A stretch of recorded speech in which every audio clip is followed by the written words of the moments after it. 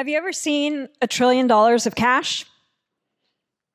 No, me neither. But that's the scale of capital that needs to be mobilized to invest in climate each year. That's a rather daunting task. So it's understandable that we might focus on the DPIP's pockets, the billionaires, and the family offices. But what if we were to act more inclusively? And in fact, what if we were to, instead of talk about mobilizing capital to invest in climate, we talk about mobilizing people to invest in climate? And what if in, in addition to the 1% of the people who have lots of money to invest, we also mobilize the 50% of people who have some money to invest? Actually, why don't we just empower as many people as possible as we can to become climate impact investors, even if they have teeny checks? Oh, I know what you're going to say. You're probably going to tell me that it's easier to pick up a few big checks than lots of little ones. And you're probably right. And we definitely need to invest a trillion dollars in climate solutions. But we also need millions, if not billions, of people to deploy those solutions in their cars, in their vehicles, to change their consumption habits, to vote for climate friendly policies, and to join the climate workforce. We need mass market behavior change to tackle climate change. And behavior change is tough. I mean, think about how hard it was for you to change your diet the last time you decided to eat more healthy. Behavior change at the scale we need is even tougher. So we need to deploy all the tools that we can. And investing has proven to be an incredibly powerful catalyst for behavior change. Let me show you. And look, we've all had experience with behavior change at some point when money is on the line. I mean, how many of you have watched a sports game where you didn't really care about the outcome until you placed a friendly wager? Even a small bet can transform a neutral observer into a full throated fan. I've seen this happen in my own house I, with my daughter, Annika. So I wanted to teach her a little bit about personal finance, so I gave her $200 to invest. And she picked a few stocks and started following them.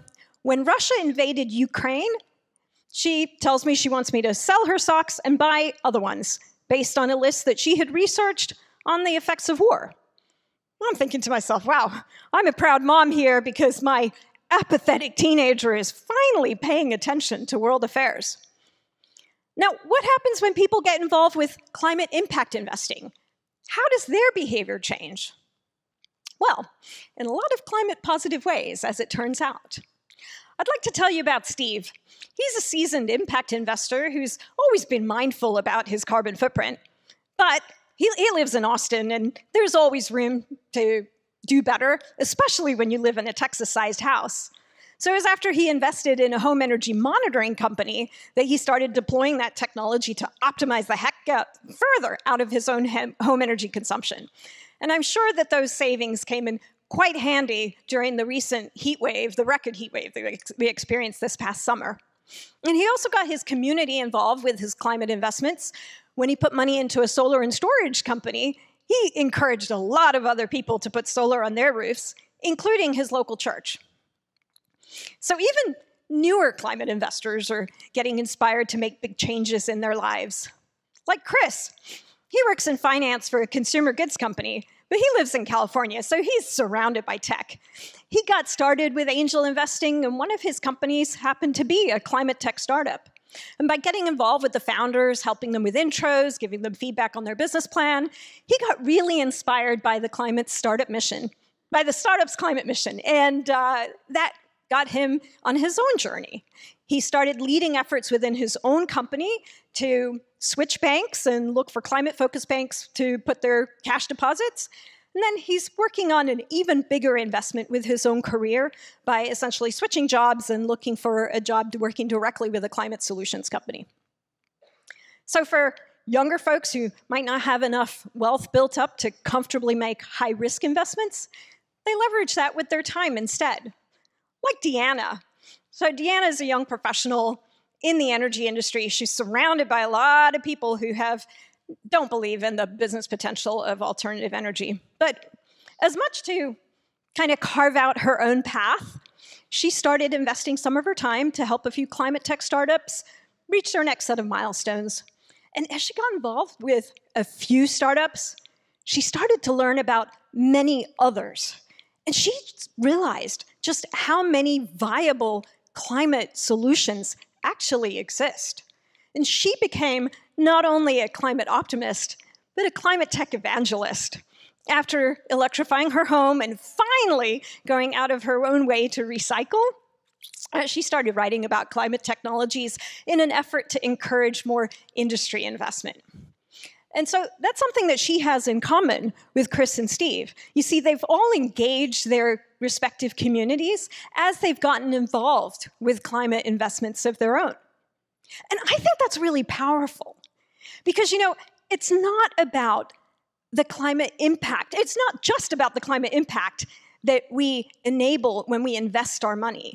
It's about the climate impact that we can magnify when we change our behaviors and we take climate action in our personal lives and in our communities after having been educated, inspired, and empowered by the climate projects that we invest in. And what if we can catalyze this behavior at scale? There are millions of people who have some money saved up, but they don't have easy access to climate impact investment opportunities that are truly additive. But they have the appetite. At my startup, Intention, we've talked to hundreds of people who are frustrated with greenwashing in the stock market, but who really, really want their money to be contributing to solutions to climate change. So we've built an online investing community, a climate investing community, to help connect regular people with investment opportunities that are climate positive and climate aligned. And to connect people with each other. I mean, we're building a climate investing movement. Just think about it. I mean, what if half the population could be climate impact investors? Because then a lot of people will have skin in the game. And with more people who have that climate impact investing experience, we'll have a better chance of solving one of the greatest problems affecting our planet today. So please join us in our community and help us build this movement.